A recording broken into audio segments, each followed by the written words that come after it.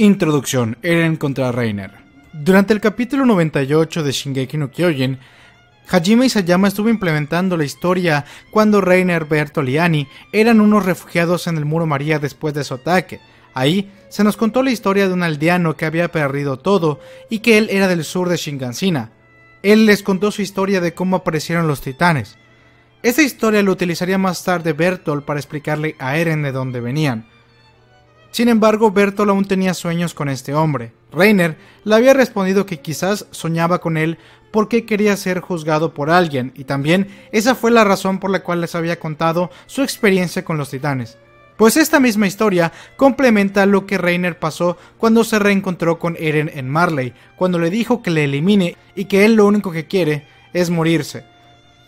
Según lo que comenta Falco Glice después de que Reiner se transformó para salvarle la vida de la explosión y transformación de Eren, Falco responde que Reiner ya había perdido todos sus motivos y fuerzas para vivir, y de hecho, el titán estaba extraño, porque no era igual a las demás transformaciones de Reiner. Reiner únicamente reaccionó después de que Eren ya había destrozado completamente el titán mandíbula de Porco Galeart y estaba a punto de morderle la nuca.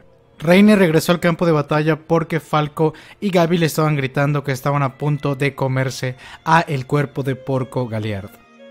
Su objetivo era enfrentarse a Eren para quitarle el cuerpo de Porco Galeard en forma titán, salvarlo, ya que él ya tenía una deuda anteriormente con Marcel Galeard y que incluso el mismo Porco le había dicho que le gustaría ver las memorias de su hermano para ver el patético cuerpo de Reiner corriendo y huyendo del titán que se lo devoró. La escena donde Eren golpea a Reiner y lo deja tirado contra las cuerdas me parece muy similar a la escena cuando se enfrentan por primera vez al momento de revelar su identidad. Realmente es un paralelismo interesante. Eren después de golpearlo se da cuenta que Reiner ya no va a poder pelear y se sale de El Titán. Es ahí cuando Mikasa le dice que regresen a casa. Sin embargo, yo creo que Eren dejó ir intencionalmente a Reiner porque ya le había juzgado por sus acciones en el muro María hace nueve años. Es decir, que para Eren la deuda estaba saldada por lo que él acababa de hacer en el festival y lo que él le acababa de hacer a los seres queridos de Reiner y lo que hizo en el gueto Livario. Para Eren las cuentas estaban balanceadas y es por eso que no lo mató ni intentó comerse a Reiner. La última vez que Eren se expresó directamente de Reiner y Bertolt lo hizo después de la cena. Después de que se peleara con Jan, le había dicho a mi casa Yarmin de que a pesar que recuperen el muro María, las cosas no volverán a ser como antes y que ellos tendrían que pagar por lo que hicieron.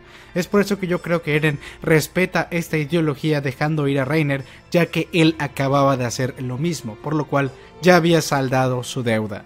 Además es posible que aún tenga un pequeño atisbo de aprecio hacia Reiner, pero ahora todo es completamente diferente. Este Reiner ya no es el mismo que le había perdido perdón a Eren y que le había dicho que lo haga desaparecer.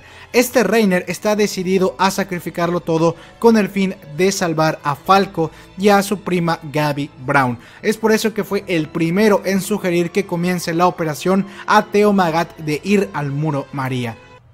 La llegada de Reiner con toda la flota aérea de Marley, comandadas por Theo Magat y Colt Glice, representa, digamos, este nuevo ataque a Shingansina. Y muchos ya han comentado que es la batalla de Shingansina parte 2 o podría ser la caída de Shingansina parte 2 al estar atacando y encontrarse específicamente en este mismo lugar donde la historia comenzó nueve años atrás ya que esta escena muy parecida con Eren mirando hacia arriba y viendo a Reiner en el cielo me recordó muchísimo a la primera viñeta que tuvimos en el manga, la cual fue publicada en 2009 y es Eren completamente asustado viendo a el titán colosal de Bertolt Huber, pues ahora vemos a un Eren enojado mirando con furia a Reiner y ahora Eren es el titán.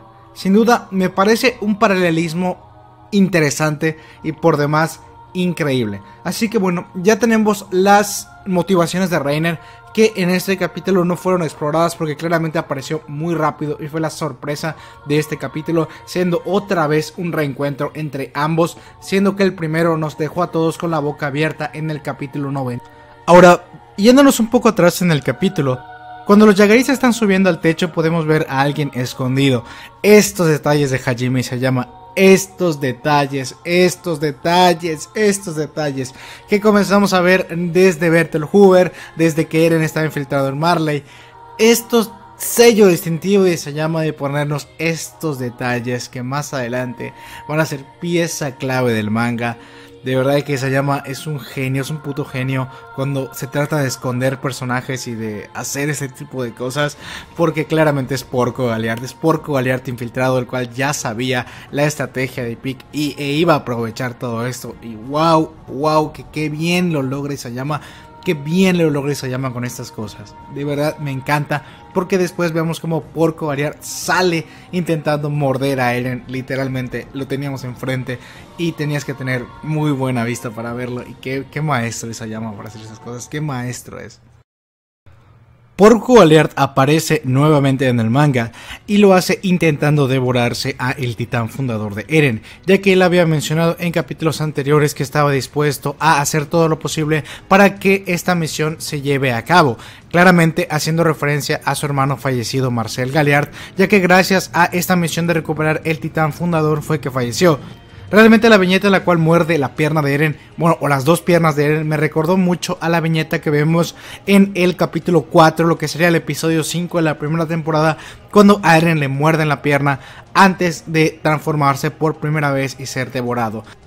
Al igual que el titán Martillo de Guerra lo hizo en el capítulo 101 de Shingeki no Kyojin, podemos ver cómo Eren, después de ser lastimado, se transforma desde abajo, por lo cual podría utilizar la misma técnica que la señorita Tibur, la cual es conectarse a una especie de cordón umbilical y que el usuario esté atrapado dentro de un cristal como el de Annie.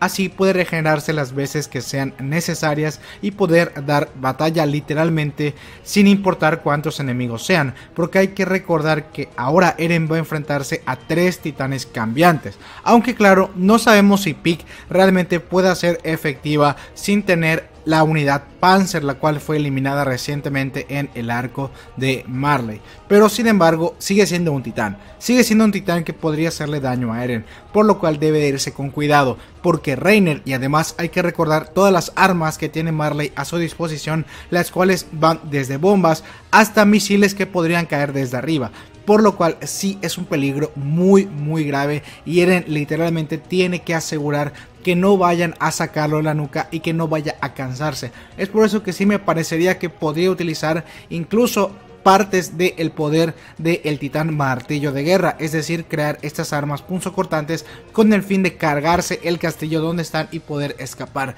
porque verdaderamente lo han puesto contra las cuerdas al tenerlo por arriba y en el centro. Sinceramente, Eren está en una situación bastante jodida. Sin embargo, también podría tener ayuda de Armin Arlet, quien podría utilizar su titán colosal para ayudarle, ya que aparentemente en los diálogos donde están conversando dentro de la cárcel, Yelena le dice que Zeke y Eren son los dos soles que van a iluminar a la humanidad incluso después de que mueran, y que Armin de cierta manera parece conmoverse por eso. Yo verdaderamente no creería lo que dice Armin, sin embargo, Armin es súper inteligente, por lo cual podría parecer conmovido y verdaderamente está planeando cómo salir de ahí, cómo ganarse la confianza, por lo cual tampoco daría por hecho que van a ayudar a Eren. Pick. Todo esto parece ser parte de un plan hecho específicamente por Pick con el fin de llevar a Eren a una trampa, la cual fue esta trampa. Pero no creo que sea un plan suicida. Por ello no habría agarrado a Gaby ni había tratado de salvar a Gaby Brown ya que ella sabe perfectamente qué tipo de relación tiene con Reiner y lo importante que es para Reiner, además de que Reiner, como ya te expliqué, es una pieza fundamental y es prácticamente el titán más fuerte que tiene Marley ahora mismo. Es por eso que me parece que Pick va a tratar de proteger a Gaby Brown mientras ocurre todo esto y qué mejor manera que transformarse y tenerla adentro como lo tenía Eren cuando trató de salvar a Armin y Mikasa. Esto con el fin de que Reiner pueda enfrentarse una vez más a Eren en batalla. Pick verdaderamente es muy inteligente, de hecho es de los personajes más inteligentes de toda la trama de la serie, y esto se ha demostrado en varias ocasiones, pero podría decirse que está casi al nivel de Zeke. También algo súper importante es que Pick está muy en contra de esta facción de los jagueristas, ya que ella prácticamente vio cómo ellos traicionaron a Marley durante este arco y sobre todo vio cómo el jefe de guerra Sig Jäger se había dejado derrotar y les había abandonado en el gueto Livario y esto pudo provocar la muerte de sus compañeros como de porco. Así que bueno, Pick está completamente decidida a terminar con esta plaga para ellos que son los jagueristas. Por lo cual con esta inteligencia habrá planeado varias cosas con el fin de atacar.